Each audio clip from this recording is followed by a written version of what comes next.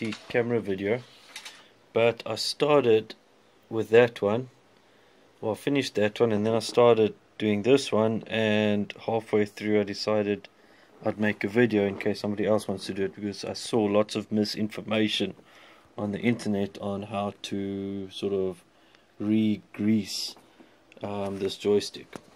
So let's just get this camera set up. That should be good and then I need a weight on this side. Keyboard should do it. That's perfect. Okay. Um, so basically you start with this cover on the back. It's got six screws. One two three four and then five six is underneath this velcro. Okay so that comes off easy. Then what then there's four screws. One two three four. But this thing has a spring underneath so while you're unscrewing these screws put your finger in the middle and hold down quite firmly so that this doesn't pop off or crack or break wires when the spring finally gives.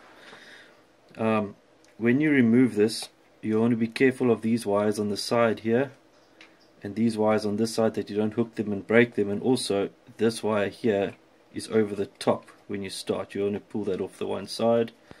And as you pull this up slowly you'll feed these wires through to avoid uh, because they go straight to the stick.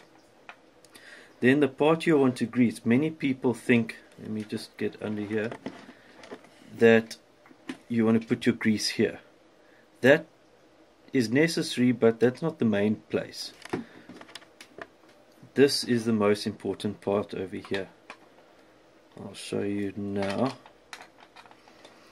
You see here when you it's going to be a bit difficult to see but when you move your stick it actually presses against this ring over here. This ring. And the friction occurs on the inside here on this lip where it pushes against the stick there. So you want to push a whole bunch of grease in this corner here. And also on this rim around here. And then while you're at it you can lift your stick up from the bottom now. And then it's easy to apply grease to that ball there and then put it back. Grease here here and on the inside. And you put this back. And you must make sure your trigger is facing the right way because you see these. I'm not sure which way it is now. Trigger must be let's have a look. Okay trigger is now facing forward.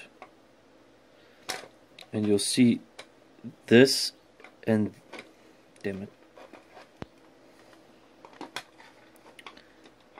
You see these two these two little things here.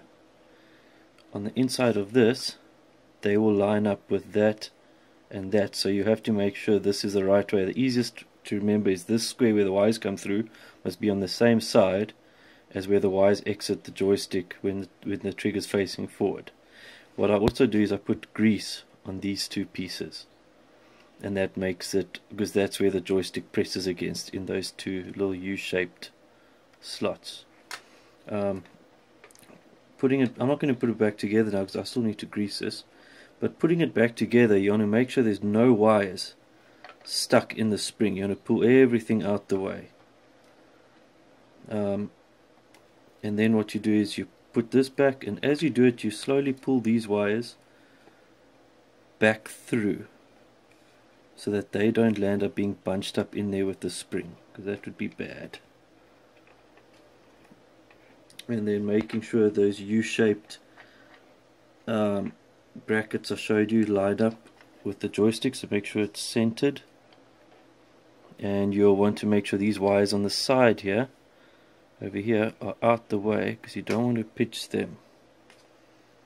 Same on this side here. So it's a bit difficult but not too difficult.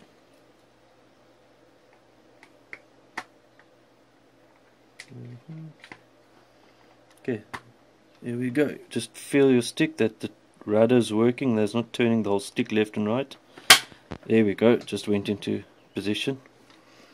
Hold it down in the middle and put your four screws back.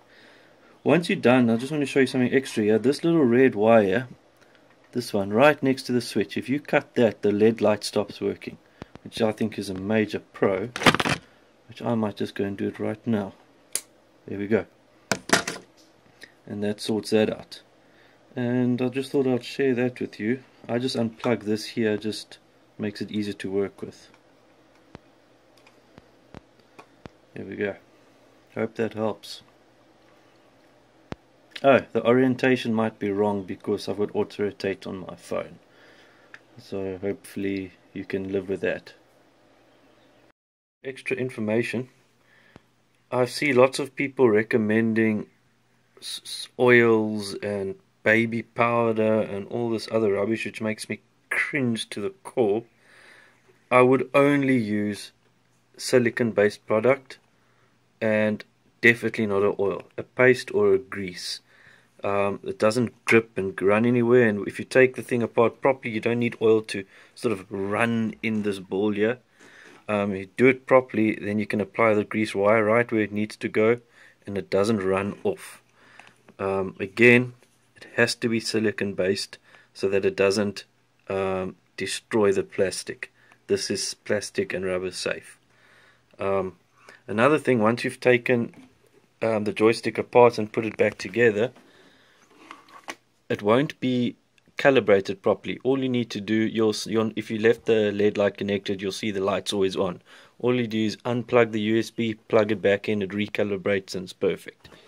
Um, yeah, no, that's it.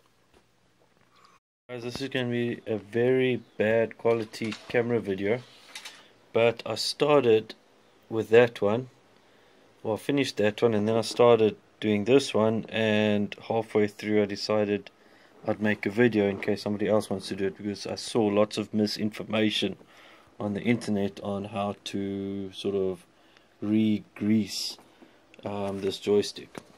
So let's just get this camera set up that should be good. And then I need a weight on this side. The keyboard should do it. That's perfect. Okay. Um, so basically